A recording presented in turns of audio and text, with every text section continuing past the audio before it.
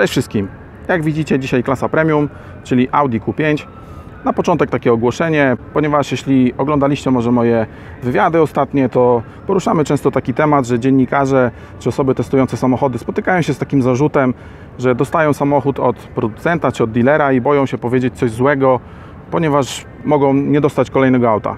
Ja ten samochód, na który właśnie patrzycie, dostałem od Rent a Car Direct, czyli wypożyczalni samochodów, również samochodów luksusowych.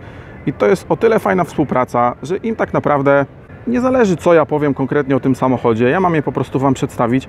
A jeśli ono Wam się nie spodoba, to możecie sobie u nich wypożyczyć X3, Merca, Volvo, Lexa, co Wam się podoba. Mają w zasadzie wszystko w całej Polsce, także jest to taka fajna współpraca, myślę, że dla każdej ze stron i, i także dla Was, bo odpada tutaj jakiś argument, że mówię coś, bo mi kazano, albo boję się, że nie dostanę kolejnego auta. Także przechodząc już do konkretów, jeśli jesteście zainteresowani kupiątką, standardowo serdecznie zapraszam.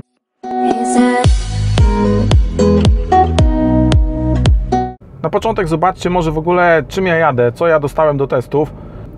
Jest to kupiątka z dwulitrowym TDI pod maską o mocy 190 koni i z najważniejszych parametrów 400 N i niecałe 8 sekund do setki, 7,9 bodajże katalogowo.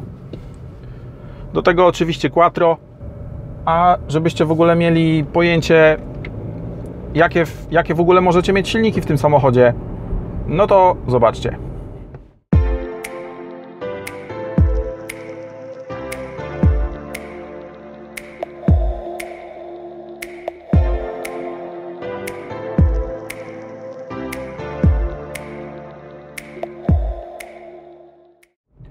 Także jak widzicie, ta wersja wydaje mi się, że jest taką optymalną. Po, po, tych kilku dniach jazdy ja to mogę potwierdzić zdecydowanie, że oczywiście można mieć więcej mocy w tym samochodzie, można wziąć benzynę, ale po co? Dojdziemy jeszcze do tego, bo tutaj ważnym aspektem będzie też prowadzenie tego samochodu. Ale po kolei. Jeśli jestem przy silniku, to od razu powiem Wam o spalaniu. Jeździłem tym samochodem w trasie i powiem tak. Praktycznie komplet pasażerów, zapakowany samochód, i spalanie na poziomie 5 z kawałkiem, 5,5 bodajże. Jeżdżąc po mieście, ja mam tutaj wyniki na poziomie 8 z hakiem, a średnio 6,5, 6,7, coś takiego. No jak na tej wielkości samochód, silnik prawie 200 koni, quattro i tak dalej, myślę, że to jest super wynik. Wiadomo, diesel, ale to też różnie bywa. Mówię o tym, żebyście mieli świadomość, jak jest. Ja uważam, że wynik jest bardzo dobry. Zanim przejdę dalej, powiem Wam taką jedną rzecz. Ten samochód zaskoczył mnie w różnych miejscach pozytywnie i negatywnie. I przeważnie były to miejsca, których się nie spodziewałem. Jeśli miałem jakieś zdanie wyrobione o nim, to myślałem, że to będą jakieś inne punkty. Okazało się, że jest troszeczkę inaczej.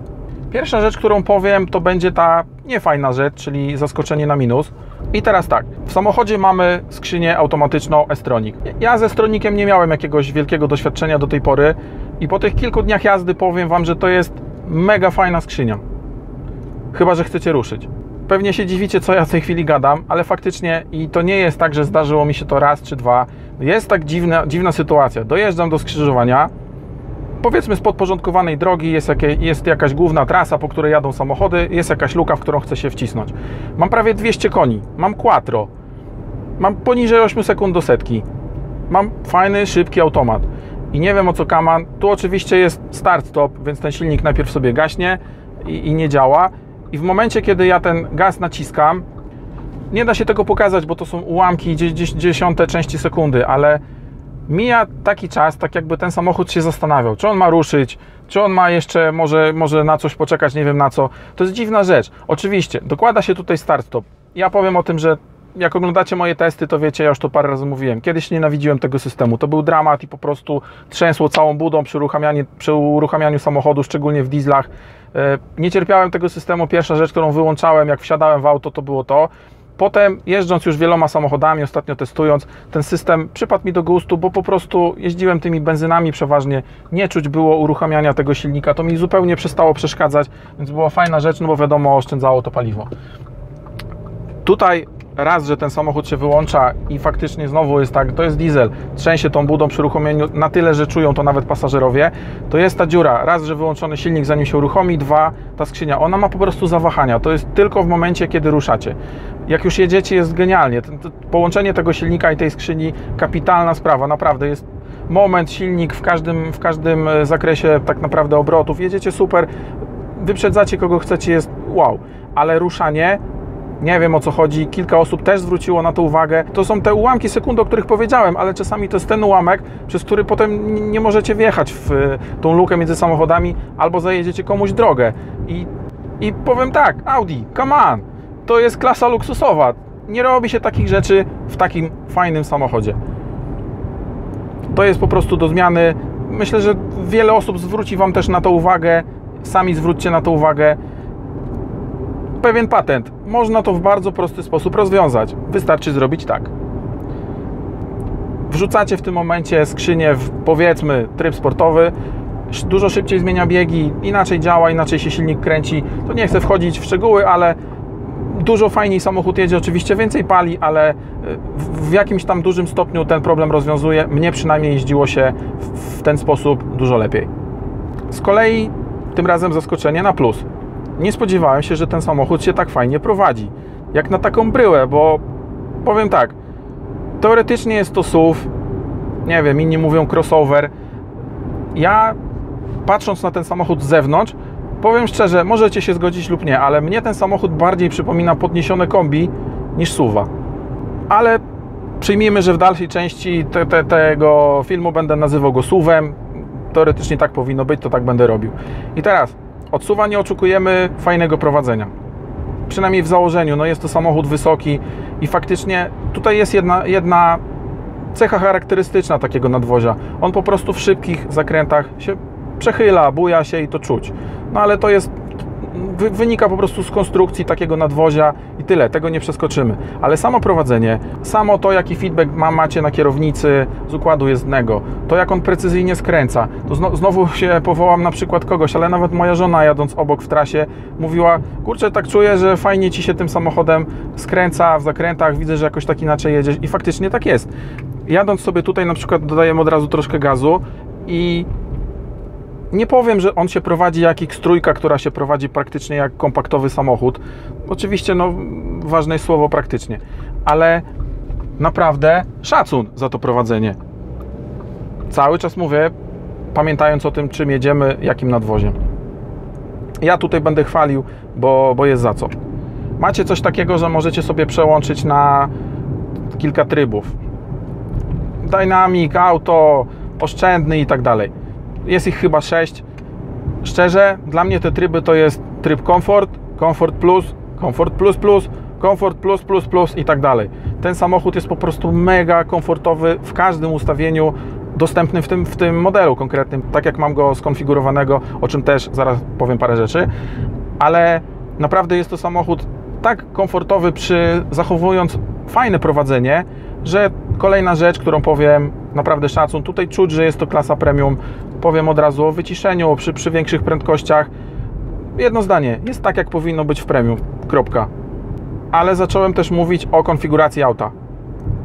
To jest trochę dziwna rzecz i to jest znowu zaskoczenie, nie wiem, może nie na minus, ale zaskoczył mnie w tym względzie. Zobaczcie na jedną rzecz. Mam samochód, który ma tak, quattro, skrzynie super, skóry w środku, 200 koni i tak dalej, różne LEDy, no masę, masę rzeczy. No i podchodzę do tego samochodu, no i na przykład nie ma otwierania bezkluczykowego. Dotykam klamki, jest w sumie taka zaślepka, ale ona nie działa, bo tam niczego nie ma akurat tej wersji. Nie mam na przykład klimy dwustrefowej, nie mam kamery cofania. Oczywiście to wszystko można kupić. Ja piję tylko do jednej rzeczy. Możecie znowu się zgodzić ze mną lub nie, ale w klasie premium ja jestem może inaczej. Jestem przyzwyczajony do czegoś takiego, że na przykład jest wersja samochodu, jakaś wersja bida, tam nie ma nic, kosztuje oczywiście bardzo mało. Jest jakaś średnia, gdzie są najbardziej podstawowe rzeczy, jest jakaś powiedzmy tam najwyższa, gdzie jest wszystko, można dokupić jakieś tam pierdoły typu tam, nie wiem, lepsze nagłośnienie. Ale ja uważam, że nie powinno w ogóle być takiej sytuacji, że wsiadacie w kupiątkę luksusowego suwa i macie, no naprawdę, gdyby to była ta wersja bida, która kosztuje 150 tysięcy na przykład, ok, wtedy nie ma tematu, ale jeśli mamy samochód, który kosztuje powiedzmy 2,5 stówy, ileś rzeczy ma, takich powiedzmy fajniejszych i nagle okazuje się, że nie ma wielu rzeczy, które dziś, nie wiem, są w kompakcie, tak, nie wiem, w Seedzie macie te rzeczy, o których powiedziałem, to to jest dziwne. Ja, ja uważam osobiście, że nie, w ogóle nie powinno być takiej wersji. Jak ktoś wsiada w Q5, to zawsze będzie miał tą kamerę cofania, zawsze będzie miał system bezkluczykowy. Takie rzeczy, powiedzmy, podstawowe z tych bardziej, bardziej luksusowych.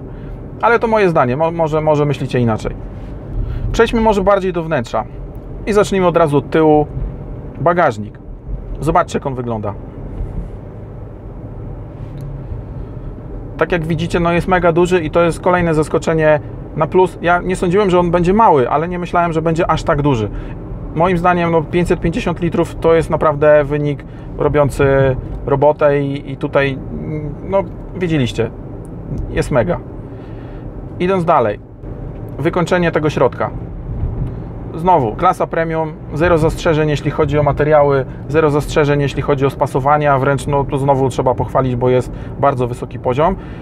Czepnę się troszeczkę tak po swojemu może, e, jak jesteście przyzwyczajeni do Audi, to to jest wnętrze takie jak w Audi. I bardzo dobrze. Dla kogoś, kto nie jeździ takim samochodem. Powiem szczerze, że ja miałem pewien problem, chociaż zawsze każdy chwali ergonomię tych samochodów i tego, jak są te przyciski rozmieszczone.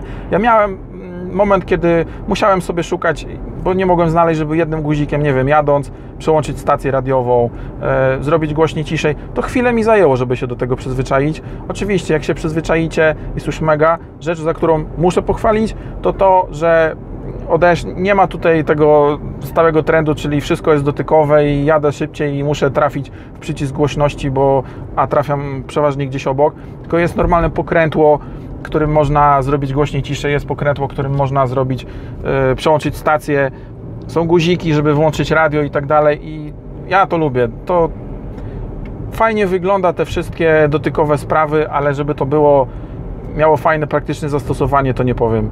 Są systemy, które mi się podobają, ale to raczej należy do rzadkości. Tu jest klasyka, no i bardzo dobrze. Ale znowu szukam minusa, no to na pewno tunel środkowy z tyłu. Zobaczcie, co to w ogóle jest. No wow, to, to wygląda jak, nie wiem, jak czupryna detektywa Rutkowskiego. No to jest, nie wiem, zobaczcie, jaką to ma wielkość. Tutaj osoba, która siedzi w środku, no siedzi praktycznie naprawdę w, w mega rozkroku. Nie są to wygodne warunki do podróży dla tej osoby, dlatego ja zdecydowanie polecam przewożenie dwóch, bo ten tunel to jest jakiś kosmos i dwie osoby z tyłu będą miały znowu mega wygodnie, bo tutaj nawet wsiadając na ten fotel z tyłu, tak fajnie się w niego zapadacie, że no chce się aż po prostu jechać gdzieś dalej i jest super, ale ten tunel to no gratulacje dla projektanta. Nie podoba mi się i nikomu się to nie będzie podobało. W trakcie, jak będę sobie dalej gadał, popatrzcie tutaj na deskę rozdzielczą. Może w sumie powinno się powiedzieć troszkę więcej słów. Nie jest to szczyt designerskiej sztuki, ale to nie o to chodzi. To nie ma być samochód, który ma przyciągnąć do siebie, ja to tak widzę, przyciągnąć do siebie nowych klientów tym, że będzie jakiś kosmiczny projekt w środku, albo będzie miał miliard przycisków, albo w ogóle nie będzie miał przycisków. Audi nie jest w takim momencie, kiedy musi sobie szukać jakiejś drogi, żeby, żeby przyciągnąć do siebie klienta, bo tego klienta ma. Wiadomo, ten samochód tani nie jest. E, ja myślę, że tutaj zachowanie tego wszystkiego, takiego, takiej typowej niemieckiej, dobrej, mega nudnej roboty, to przecież nie jest przypadek. Klienci sobie, może nawet jeśli podoba im się jakiś futurystyczny wygląd rywala, będą to chwalić, będą, wiele osób będzie mówiło, e, nuda w Audi i lipa. Sam często tak mówię. Tylko potem, jak przychodzi do wydania kasy, to wiele z tych osób idzie do Audi. Tu nie ma jakiejś wielkiej tajemnicy. To się po prostu sprawdza na co dzień. I tak jak powiedziałem, że ja może potrzebowałem chwilę, żeby tego, do tego się przyzwyczaić, to jeśli ktoś miał Audi, to pewnie tej chwili nie potrzebuje.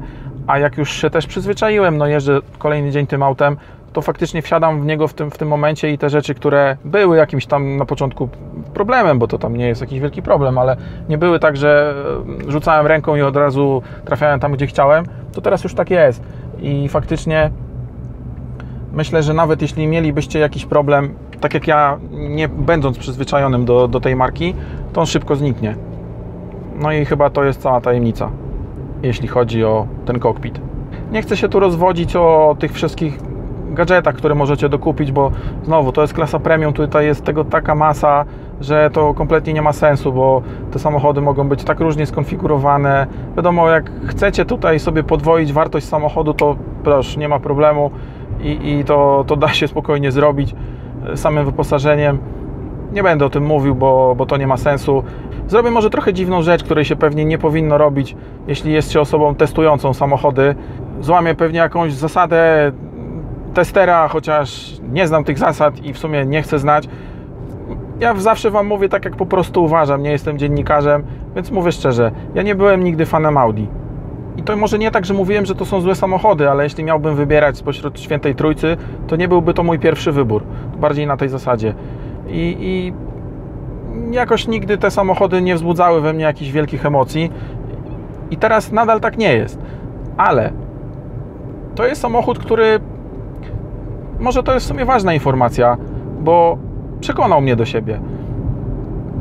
I to może nie jest jakiś problem, żeby się przekonać do nowego Audi Q5, który ma prawie 200 koni i napęd na 4 koła, ale to znowu bardziej tak odnoszę w porównaniu do, do jakichś tam innych rywali, których też znam, jeździłem, testowałem. I podchodząc do tego samochodu z pewnym dystansem, może też dlatego łatwiej było mi wyszukać pewne wady, to na początku nawet chyba bardziej zwracałem na te, na, uwagę na te wady, mówiłem to nie tak, to nie tak, to nie tak. I kilka dni spędzonych w tym aucie naprawdę przekonało mnie do tego, że ja się w nim bardzo fajnie poczułem, że cieszę się na każdą kolejną jazdę. Nie wiem, miałem już na przykład y, nie iść nagrywać, mówię, a pójdę, coś tam nagram, a tak naprawdę chodzi o to, żeby, żeby się znowu nim przejechać, bo, no bo będę je niedługo oddawał. Myślę, że to też mówi coś o tym, że jak fajny jest ten samochód, jak fajnie się go prowadzi, to nie jest coś, to nie jest samochód, wiadomo, klasy GT, gdzie będziecie, nie wiem, mieć super dźwięk i tak dalej. To jest diesel, on klekocze. Też mo może o tym powiem. Faktycznie spodziewałem się, ja znam TDI-ki, to żeby nie było, że to, że nie znam. Wiele kilometrów nimi przejechałem. Może akurat nie w Audi. I chyba dlatego też mówię, a może samochód za tyle kasy, niby ten, te same silniki, ale myślałem, że może, może będzie tego klekotu, nie będzie słychać. Słychać. Oczywiście szczególnie przy ruszaniu, bo jak już się jedzie, to, to, to nie jest tak źle, no chyba, że będziecie deptać, nie wiadomo jak. Słychać ten klekot. Znowu myślałem, że może będzie troszeczkę inaczej, ale to nie jest nic, co jakoś tam mocno by przeszkadzało. Nie chcę wchodzić znowu tutaj w, w wątek silników TDI, awaryjności czy bez awaryjności, bo, bo spędzilibyśmy dwa dni tutaj na tych rozmowach i to kompletnie nie ma sensu. Zresztą to jest nowy samochód, więc też nie ma sensu o tym rozmawiać. Ale jednym zdaniem, no, potrafił ten samochód w kilka dni przekonać do siebie nawet sceptyka. I niech to będzie podsumowaniem mojego testu. Na koniec, może jeszcze to, od czego zacząłem, czyli podziękowaniem dla Rentacar Direct za to, że udostępnili mi ten samochód na kilka dni, że mogłem nim pojeździć. No bez Was tego testu po prostu by nie było. Byłem u chłopaków, zobaczyłem jakie mają samochody i naprawdę, jeśli szukacie samochodu do wypożyczenia, a może na przykład, bo to jest też fajna rzecz, zastanawiacie się nad takim Audi, tym Audi powiedzmy. Jazda w salonie pół godziny, tak naprawdę nie powiem Wam nic. Będziecie widzieli pewnie tylko zalety zajawieni nowym autem. To ja powiem Wam, że jak stać Was na takie Audi, to stać Was na 3 dni pojeżdżenia takim samochodem i gwarantuję, że zobaczycie dużo więcej. No to też Ameryki nie odkrywam, bo to jest oczywiste, ale myślę, że warto. I na przykład u chłopaków w różnych miejscach w Polsce bierzecie sobie taki samochód, tak jak ja teraz wziąłem, jeździcie kilka dni, pojedźcie w trasę, pojeździcie po mieście, zobaczycie o co chodzi. Ja szczerze polecam, jak nie ten, to inne mają tego masę. Mam nadzieję, że ja też tam będę częstym gościem i nie zabieram Wam już chyba więcej czasu. Może jeszcze tylko jedna rzecz, a w zasadzie dwie, tak na szybko. Oglądajcie kanał, subskrybujcie, kliknijcie dzwonek, dlatego że już niedługo fajne kolejne rozmowy, bo jeśli nie widzieliście wywiadów, to też e, podlinkuję Wam gdzieś tutaj w opisie filmu a będą naprawdę fajne osoby. Już za kilka dni mam nadzieję, że uda się spotkać. Nie będę jeszcze zdradzał, kto to jest, ale bardzo ciekawa osoba. Myślę, że to będzie bardzo ciekawy film, także nie przegapcie. I już naprawdę ostatnia rzecz, wbijcie na Instagram. Ja będę się starał w tej chwili to medium prowadzić troszkę inaczej niż ja do tej pory, czy też niż inne osoby. Myślę, że to będzie fajny, ciekawy sposób. Także zobaczcie, może Wam się akurat spodoba. Będą fajne foty i tak zrobione troszeczkę inaczej. Zapraszam serdecznie. A teraz się żegnam. Do zobaczenia w kolejnym teście. Trzymajcie się, cześć!